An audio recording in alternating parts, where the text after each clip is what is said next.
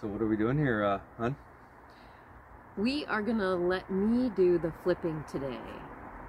That's right. So we sometimes get comments from people saying that it would be very difficult for them to do what Jason does uh, in terms of physically, and I agree that if you had arthritis or if you were um, if you had some sort of disability or anything like that, it would be very difficult. Mhm. And so I kind of wondered, you know, if I didn't, Uh, if Jason weren't doing this, would I be able to do it? And I'm not 100% sure. So we're going to do a test today and see if I can do the compost flip by myself.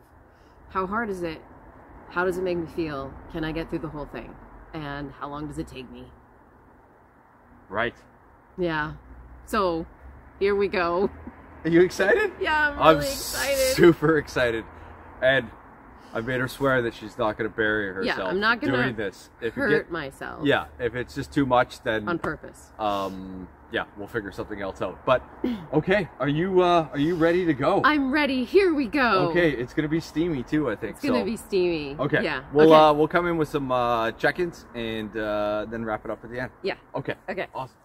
And then I just take everything off as I want to put it back on. So basically, I just take all the wood off first. Where do you put it? Just I throw it down there. And then as long as I'm piling stuff on top of it, then it, it just all goes back on. So, okay.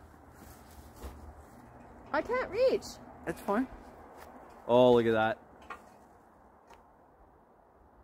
You get any? I got a worm. Oh no, then stop squeezing. Okay, interesting. Now can you do it two hands? Like do two hands and gotta really get without a worm. right.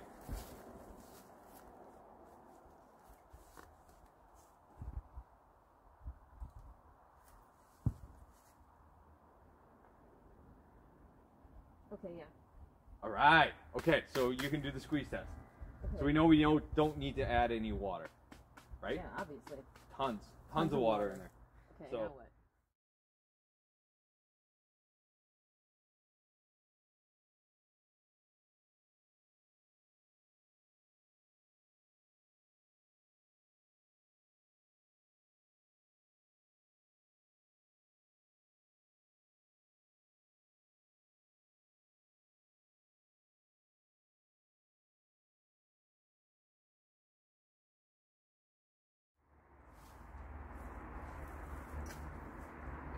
So I think if I was doing this for real by myself, I'd stop here, take a break, maybe come back in a couple hours, and then carry on. But for the sake of the experiment, I'll just keep going. What's happening, babe? Just talking.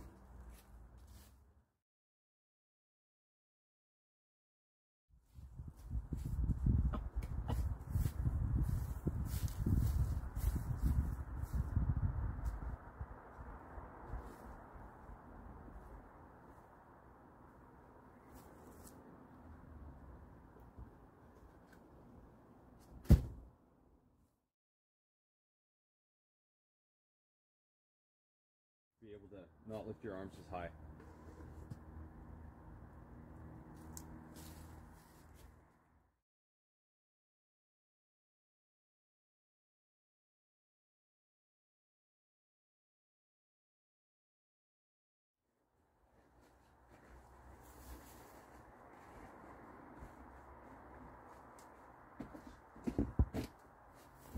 Okay.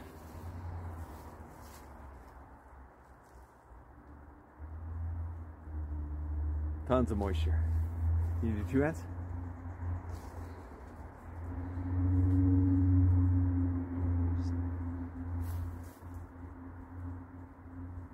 Interesting.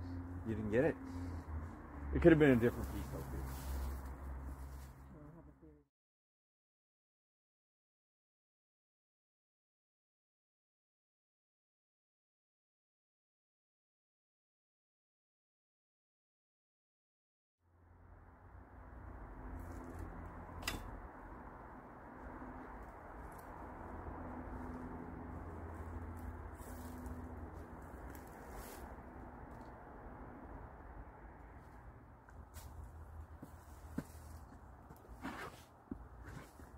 That's great, babe. Are you happy with that? Yeah. I did it all by myself. Well done. Yeah. Well done. And it did How not. How long did it take? It was about half an hour, but that's okay. that's pretty darn quick, especially because I was pulling you off to do other things. So. Not that often, but uh, okay, some just initial observations. Yeah. Number one, uh, I took very small chunks out of there. Mm-hmm. Um, so it's kind of like when I'm walking, like I have I have shorter steps, so I have to go faster. So if I wanted to beat or get close to Jason's time, I would have to go really, really, really, really fast. But then I didn't have to do the bouncy thing either because my right, scoots were so small. right. Um, I was worried about the height of this. I didn't think I'd be able to get it up and over, but with smaller, because this is a light tool. It's not heavy.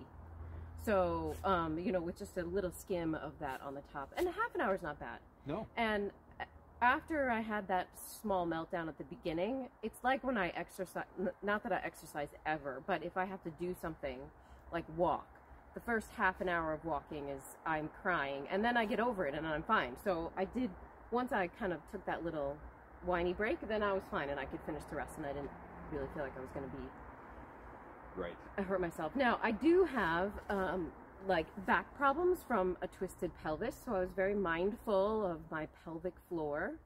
Mhm. Um, also, my bra strap is not on tight enough and it kept falling down, so you got to strap yourself in if you're going to be doing this. or no bra.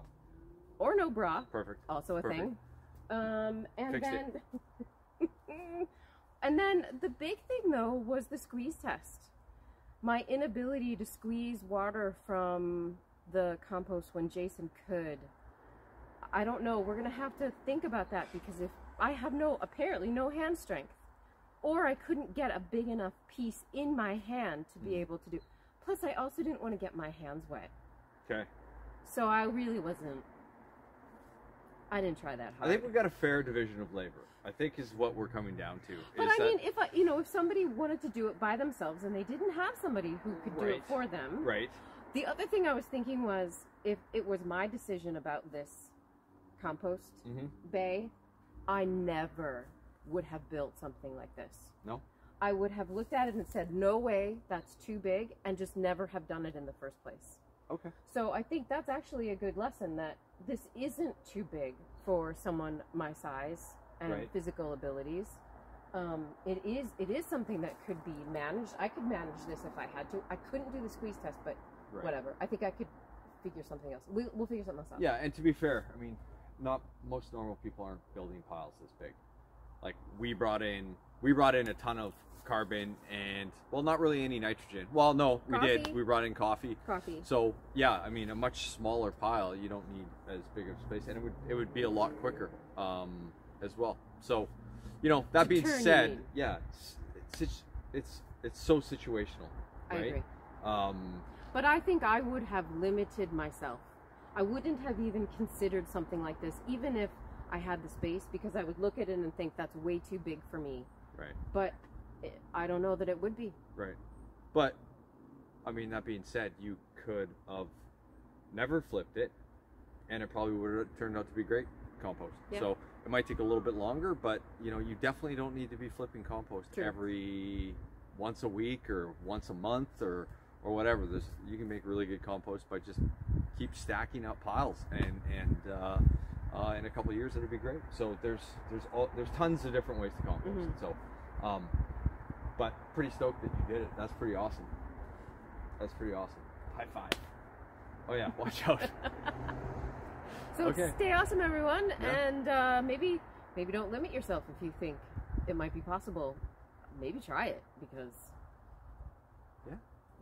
the only way you can fail composting is not to start. that's so, true. um, yeah, just build a pile, and it'll be it'll be eventually it'll be really good. So, all right, Thanks, honey. on to the next thing. On to the next thing. Let's go. stay awesome. High five. Ugh. Not much steam on that one. oh yeah, I could see it. Look at that.